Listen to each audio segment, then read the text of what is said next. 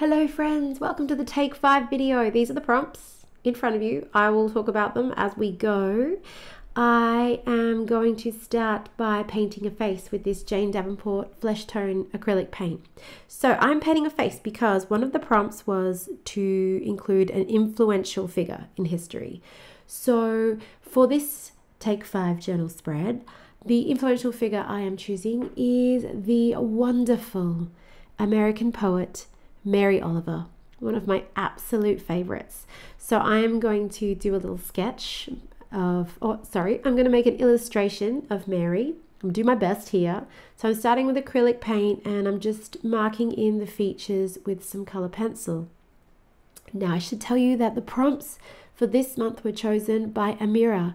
She's relatively new to our awesome Take Five group, but she is fabulous. And I have to say, the prompts that she has chosen for this month are just kick ass. Amira, they are so awesome. I'm really excited about doing this video. So, if you want to see Amira, she will I will have a link to her channel in the info box below, as I will have a link to all the Take 5 girls in the info, info box below. Now, you also know that if you would like to participate in the Take 5 Art Challenge, and we would love it if you want to participate. Then go ahead and please use the prompts, tag us, make a video, make a photo on Instagram, use the hashtag Take5Art. Let us know so we can all have a look and just join in the fun. It's really, really, really great for getting your creative juices flowing. You kind of go, oh, I don't know what I'm going to do. And then out of nowhere comes awesomeness, as often does in the process of art journaling, which is why we do it. Now you must be wondering who the heck I'm drawing. Well, one of the prompts was to include an influential figure in history. So the figure that I have chosen to include is the great and wonderful American poet Mary Oliver, one of my absolute favorite poets of all time. So this is my illustration of Mary and um, and then I will also include a, a quote from one of her poems. So right now I'm going to do a little bit of background. Let me tell you what I'm doing here because this is important. I have used an acrylic paint and um, what I'm mixing in now is airbrush medium. It's a Liquitex airbrush medium and this if you add it to the acrylic, just really makes it, it waters down the acrylic and it just makes it really easy to spread, which therefore means it's so much easier for doing backgrounds. Just spreads it out. You know, when you're using your acrylic, sometimes you start spreading it out across the background and it just gets really sticky and you don't get a smooth surface. So, to combat that, use airbrush medium. It's really, really, really, really handy with acrylic. Hot tip. That's my hot tip for this month. Get into the airbrush medium. See how smooth it is for me to make that acrylic background now? Rather than it getting all clumpy and heavy in some spots and difficult in others. Okay, next prompt was to use book pages. So I'm pulling out a page from a lovely book of shells that my dad sent me to use specifically for art journaling.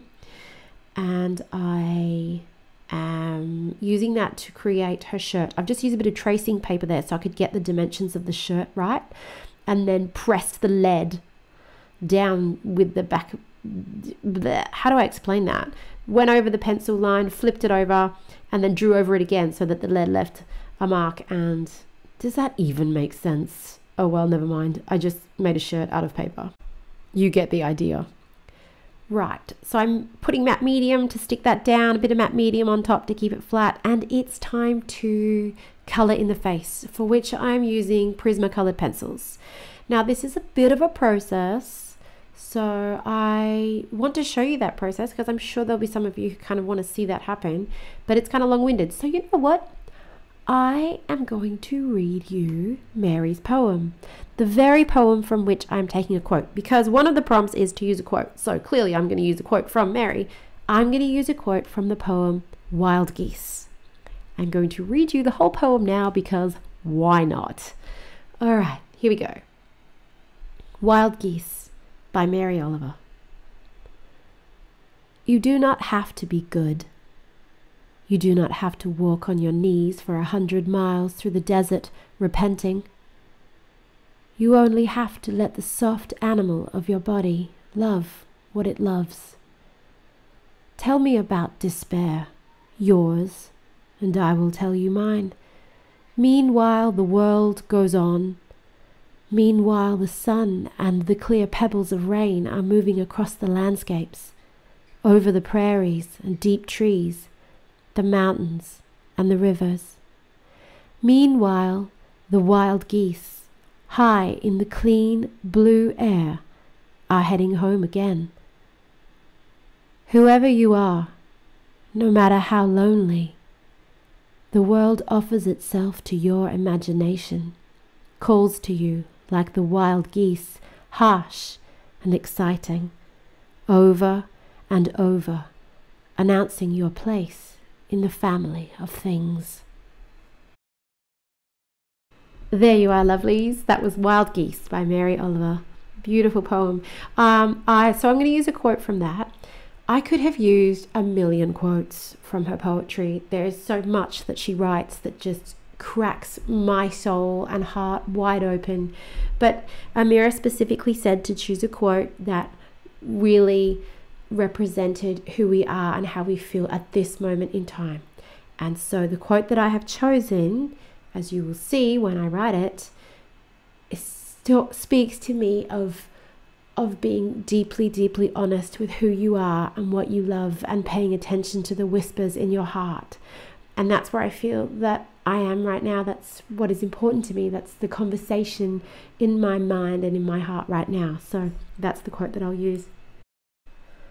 As you can see, I've been doing the hair. I did a bit of a blondie color underneath before I did the white because I felt like the white wouldn't show up enough. And I just wanted the color to have a little bit more depth, not just be such a flat white color. So that's why I did that little process there. And I'm going to fix up the eyes because she's looking a bit, her eyes are looking a bit here and there. So I'm going to add some color in there and then just fill in the whites around the eyes again to make them look the right direction. I do have a problem with wonky eyes. Okay, next prompt on the list black floral. This is my black floral. I'm doing a bit of a background. I'm putting in the flowers with black color pencil. That's that prompt. Woohoo, done. Okay, next prompt was postal stamps. So postal stamps are awesome, but I don't actually have any here to use. So my whole thing was I'm turning this illustration into a stamp, which is why I did those things around the edges, except it kind of looks more like a kind of curly picture frame, but it's not meant to be. It's meant to be a stamp. So then I just stuck down this extra book page because I like it and I wanted it in there.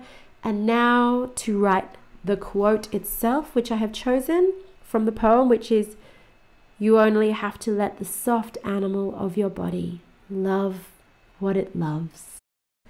And that is it for this take five. Thank you so much for watching, my lovelies. If you enjoyed it, please give it a thumbs up and have a super, super day.